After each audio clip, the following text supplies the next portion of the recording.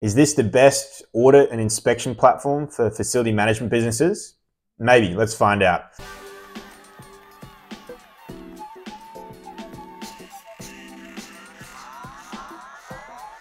I am Darcy from Bravas Technology. We're going to do a full review of the safety culture platform as it relates to a, an FM firm or a building services type company. We'll work through a cleaning example, but this can really be used across the, the broad range of services that you might be providing to someone who owns a commercial or residential building. Um, we'll work through the different personas that would use uh, the safety culture platform, so the different people in your organization, and we'll chat through how much it might cost to get going at your organization at the end. Let's get started. Yeah, so I've tried to break this down into four different personas that would use the safety culture platform. Um, we've got the site or regional manager. These are the folks that are actually visiting your client sites, performing audits and inspections, um, maybe assigning corrective actions out to the team and just generally communi- communicating updates. Um, we've got the cleaners that would be actually completing the cleans. They need to be inducted to site. Um, they need to understand what tasks they need to, to do and, and what issues have been picked up at their site um, and just the way that they would interact with the tool. We'll talk about someone at the director level, so maybe an operations director, how they might review the dashboards that are coming through. Um, they might act on um, poor performing sites or, or, be able to identify poor performing sites. We'll touch on as well about the, the, way that the client might be able to interact with this platform, how they might be able to raise concerns or, or view um, data and reports. But let's get straight into it with the, the site and regional manager. So the first thing that's really powerful about safety culture, and, and this runs through for all scenarios and use cases of safety culture, is the, the template editor. This is basically a tool that lets you build in a process, be it an audit or be it a, an inspection, basically a set of questions and procedures that you want your team to then follow out in the field, and they will then complete this on a mobile application or, or, a, or, a, or a tablet. So you can see at the, the top of uh, a template, Gonna, we're going to have information that relates to um, like the who, what, and where of, of this check or this inspection. So we're building here a, a cleaning checklist that we might do at a, at a commercial building site.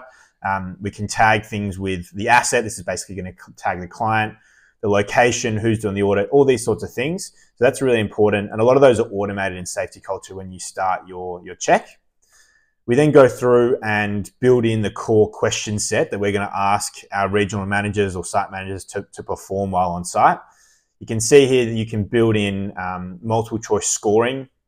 You can really just link this with your contract SLA. So if, you know, in this example, if I was a cleaning company and, and we said that we were going to maintain uh, a 90% score. And, and so basically, if I say that a site is clean, um, I want that score to come back as, as 90%. I've got perfect, which will give me a score of 100%, and then dropping down to fair and poor. So you can really build in um, different scoring structures to give you the, the outcome that, that you basically need based on the, the, the performance that you're seeing on site.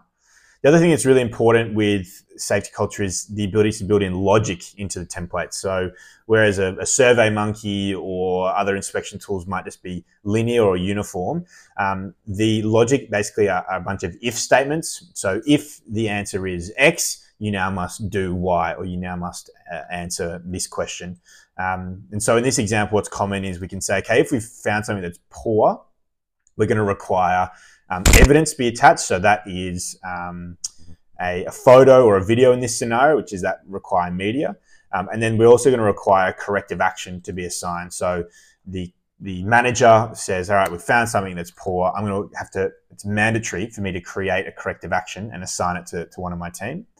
Just on that assets function, when you set up your, your account, it's advisable you to use assets or there's another part in safety culture called sites where we can basically tag in all of the locations that we're going to do an audit on. Um, we recommend using the assets function because it means you can save in um, your contracts, you can save in floor plans, and this will be an overview of all the activity, be it corrective actions, be it uh, inspections that are happening on a site, and it just gives you one nice central view, which is what you're seeing here. Cool. So let's pull up the, the mobile application. I'm now the, the, the site manager. I'm going to a site um, and so I'm going to pull up the site that I'm going to. This is the, the Chelsea Bank, you know, Santander site that I manage. I can pull up that same information on my phone. So I can see here, like I say, contracts.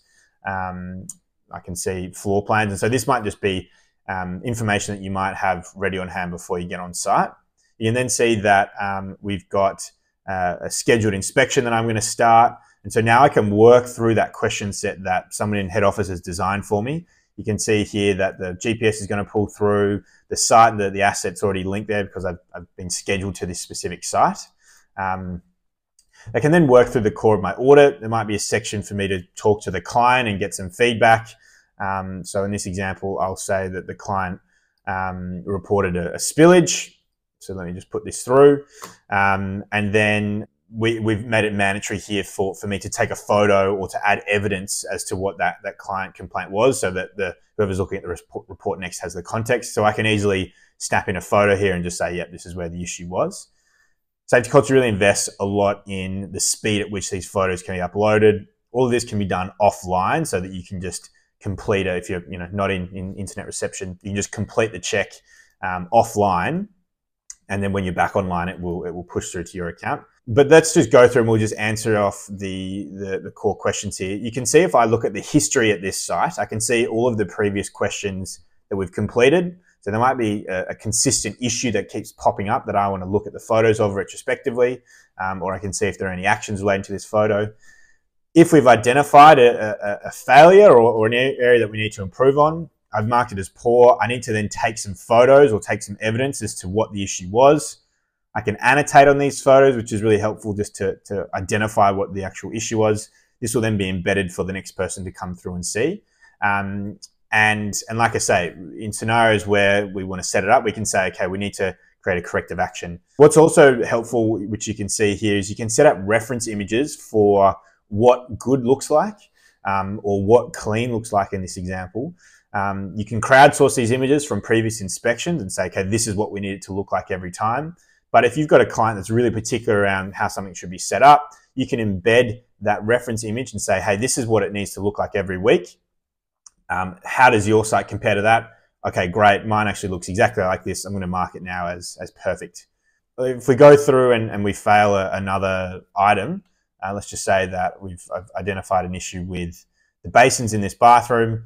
Again, it's really quick and easy with the safety culture tool to, to snap photos. You can also take videos if, if that's going to be uh, helpful for, for the clients. And then I can raise a corrective action. So you can see here it's going to ask me, there's another open action that relates to this question. Is it is it going to be the same action because it's you know it's a repeat from from last week that we haven't we haven't fixed up or last month? But I'll say no. This is this is a new action that we need to create. I will provide a description and a title for the action, and this is basically what we're going to assign to cleaners or just broadly assign to the client site to say, hey, we've identified something that we need to fix up, um, and this is going to have a due date and a priority. And the next time I come back to this site, I'm going to want to see that all of the corrective actions I've, I've created have actually been, been closed out. So we can assign this to specific individuals. If you leave it blank, it's just going to assign it to the client site you're at, which is probably the better approach. Um, just means that whoever's coming to the site next will be able to, to see it. We can tag it with, with a specific type of, of action. But cool, that, that's sort of the, the, the way that a manager would then do an actual inspection or an audit on site. Um, they'd capture photos, they'd be answering and providing a performance score, maybe assigning actions. They'll get to the bottom and we'll, we'll complete a, a, client sign off here um, and just confirm, yeah, the client's happy with this. Um, I can assign all the corrective actions in bulk if I want at the end of the um, at the end of the audit. But great, basically, I've now completed my my inspection on on site. So super valuable through the the safety culture app is just the the ease and the fluidity of the app. You want it to feel really frictionless for for someone to go through the team there sort of designed it in a way that it feels like you know Instagram or all of your other apps, and so it becomes quite valuable to and easy to, to capture data um, because it's it's so frictionless. The other thing that a, manager might do, which the safety culture tool does well, is, is through a tool called Heads Up.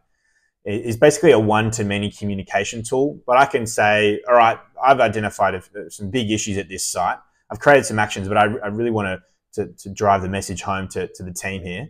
Or maybe I need to send out an alert to all, all the people in my region um, with a, a, critical update, maybe a toolbox talk style message. But I can essentially record a video, which is what you're seeing here. Um, I can um, I can basically say, "Hey guys, we've, we've found a really big issue on site. Um, we need you to to you know keep this in mind the next time you get on site." I, I record this video and I send it out to the team. It basically requires that they view the, the video, they can leave comments and, and they can show me that they've actually interacted with the video. And it's just a way to, to communicate effectively and quickly if there are, in this example, cleaning issues, but maybe it's a, a client complaint, maybe it's a, a, building safety issue we need to alert. So it's just a way that we can um, sort of systemize the communication um, and critical updates. Cool. Yeah. So that, that's the regional manager, site manager. This is someone who's really the main user of the system, but they're going onto site. They're doing the audits or inspections. They're grading how we're doing. Um, they're assigning corrective actions out to the team to make sure the issues that they've identified are um, being addressed. And then if required, they can also send out this one-to-many communication sort of tool. Great. So let's move on to the cleaner or the actual building operative. So maybe it's a security guard, maybe it's a building manager, uh, uh, repairs and maintenance sort of individual. How, do, how would they actually interact with this, this platform? So safety culture has a, a, learning component called safety culture training now, which can be really um, good for site specific inductions. You can use it holistically for your LMS. But what, what I think is valuable in this sort of example is, okay, before a cleaner gets on site or before they go do a certain task, that they actually do a, a site-based induction. So you can see here, I've just, I'll just jump through quickly an example of a, a learning course that can be set up for a cleaner. This is an LMS style um, micro learning course. So um, I can answer questions, I can get feedback based on wrong answers, I get positive feedback based on correct answers. So it kind of follows a method of, hey, here's some content and now answer some questions. So that can be just a really quick way to induct someone into a site and say, this is what you need to do on this site. This is all of the, the um, components of the site which, which are important to know about. Here's a safety briefing to make sure that you're operating in a safe way. Then the, that cleaner would maybe come through and just review the corrective actions that have been assigned to them or, or assigned to the sites that they're at. They can pull up that same asset profile that we've seen um, before, or they can just go to their actions tab and they can see, okay, these are the four actions or the three actions that I've been assigned that I need to go fix up. You can see this example before we work through West, I, I highlighted that the basins needed cleaning up. Um, well, I can then answer as a cleaner that, yep, I'm on it. I'm going to um, go through and, and clean the basins. I'll take a photo of what I've done once I've completed it to show the management team that, yep, I've, I've done this task. You can even loop in clients to this stage as well if the client wants to know when you fix up a specific issue. Um, so essentially that activity feed is going to just be our WhatsApp messaging group, if you will, um, of the, way that we've, we've, essentially answered that, that uh, action that's been raised. You can then see as well, I've got a, a heads up alert. Um, so this is the, the, the, message that my manager sent me. Um, I can turn on closed captions if English is my second language. Um, I can watch that review and then comment on it or confirm that I've, I've you know, understood what the message is. So again, it's just a way that if you're trying to drive a sort of a, a continuous improvement and, and, drive information between a manager and a cleaner, um, it's just a really frictionless way to communicate that back down to cleaners. Cool. So let's talk about someone at the operations director sort of level. So I can, as a manager sitting in head office, I can look at the individual reports that are coming through from my sites. If I just pull up an example at that Chelsea, the bank site that we're looking at, I can go through, I can look at the photos that have been raised. Um, I can see how we've scored on these individual reports. And so that might be step one is just to look at a, a snapshot of the way that we're reporting issues, the way that we're closing out actions. And I can just do this through through the desktop application of, of safety culture. You can set up some automations around low performing audits being automatically sent to management. Um, but really, you would just take a sample and you would look at maybe poor performing sites and, and top performing sites. If you go to the asset as well, um, this is also a good dashboard sort of view where I can look at all of the individual actions that are happening on a site. But really what I, what I'd recommend is that you set up a Power BI or a Tableau dashboard where you can get a high level snapshot of the way your whole portfolio is performing. Um, you can link this in with, you know, things around SLA. So that might be audit scores. I've seen this as well in the past where clients will set up um, visits to site. So how many times we actually went to site. You can pull through, depending on your time and attendance system, uh, the amount of time that cleaners were spending on site. So you might have a, a, dashboard that says, these are our audit scores. This is how much time our cleaners spent on site. This is how many visits that our site managers went to that um, went, went, to that site in the last quarter of the last month, and see if you're compliant with the, the SLAs that you've agreed with your with, with your clients. So if we look at this dashboard, we can filter through for the specific sites you can see we get an overall score for the sites that in our in our filter. Um, we can get um, the uh, average score for each category. So how have we performed in the toilet audits versus the kitchens in the last month? Um, we can see what our most common failed responses are. So what basically is the question that our regional management team is consistently saying, "Yep, we're failing, we're failing." You can pull through a, a map location just to show where where you're doing like a heat map of where you're doing the most checks. And then we've set up just a link straight through to the actual um, audit reports um, so that um, from the Power BI dashboard, you can just link straight through to the report. So this might be more of like an operations director. I don't have time to look at every individual report, but we can set up a dashboard that says, yep, this is how all your sites are performing. Um, here are the, the, the clear KPIs. So this is just an example dashboard that we've set up. Yeah, so operations director really just reviewing the high level information and maybe just acting and following up on sites that are performing poorly. Maybe you want to get into the detail of the photos and the actions of those poor performing sites. But really, the dashboards is, is where I think you'll spend most of your time if you're at that director level. The final one, which is an optional one, but I've seen some people do it well in the past, is giving clients access to this system to be able to report issues and even view some of the information. You can do the, this through Safety Culture's uh, issues tool. But I'll just run you through an example that you could use for a client.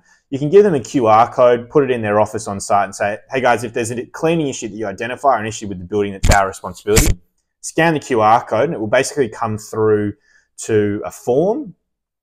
Um, and this form, they can provide uh, an explainer of, you know, what the issue was. So here they can say the basin wasn't clean. They can add in um, a photo or a video to show what the issue was. So they'll take a photo of this, you know, messy basin.